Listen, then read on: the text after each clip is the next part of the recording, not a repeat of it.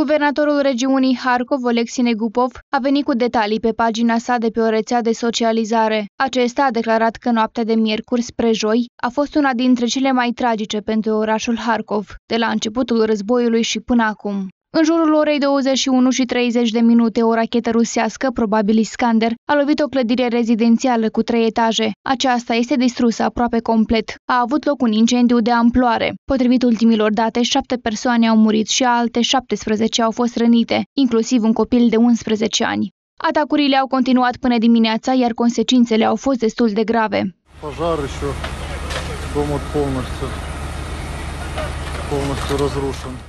Acestea s-au lăsat atât cu pagube omenești cât și materiale. 24 de echipe de medici au acordat ajutor întreaga noapte oamenilor care au avut de suferit în urma atacurilor, iar 80 de salvatori și pompieri s-au luptat cu focul izbucnit în clădirea rezidențială atacată de ruși. De asemenea, au intervenit și alți lucrători ai serviciilor de urgență a mai notat guvernatorul regiunii, iar președintele Ucrainei, Vladimir Zelensky, a declarat că acțiunile atacatorilor, în urma cărora au avut de suferit oameni civili care nu pot opune rezistență, nu vor fi iertate. Українські воїни будуть крок за кроком знищувати потенціал окупантів. І настане день, коли ворог згине на Запоріжжі, і на півдні, і на сході країни, і в Криму окупанти згинуть як Rosana Sonții, Nașa Obrună. Situat la aproximativ 40 de kilometri distanță de Rusia, orașul Harkov este atacat constant de către armata rusă, dar care nu a reușit până acum să preia controlul asupra localității. Însă, potrivit presei de la Kiev, forțele ruse au ucis aici sute de oameni.